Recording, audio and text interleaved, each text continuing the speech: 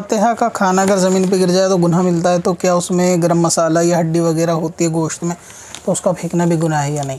फातहा का खाना या गैर फातहा का खाना अगर ज़मीन पे गिर जाए तो उसमें गुना नहीं होता। ये जो आपके जहन में बात डाली गई है कि गुना होता है, अगर धोखे से गिर जाए तो उसमें कोई हर्ज वाली बात नहीं है। बाकी फातिहा में अदब के नाम पर ये चीज़ वहाबियों ने जहनों में डाली है लोगों के, कि हम फाते इसलिए नहीं करते क्योंकि इसमें गरम मसाला, हड्डी वगैरह फेंकी जाती है तो उसकी तोहन होती है, कुरान पाक पड़ा हुआ होता है। ये इतने अदब वाले बनते हैं बेअदब कौम तो इसमें कोई दिक्कत और हर्ज वाली बात नहीं है। खाने की जो चीज़ें खाई जाती हैं वो खा ली जाएँगी फातिहा के बाद, और जो चीज़ें फेंकने की उसको फेंका जाएगा, उसमें कोई शरण हर्ज वाली बात नहीं है।